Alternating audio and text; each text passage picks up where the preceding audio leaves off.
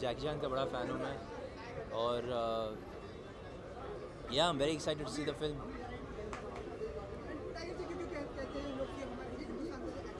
हैं जो। है हाँ है है हैं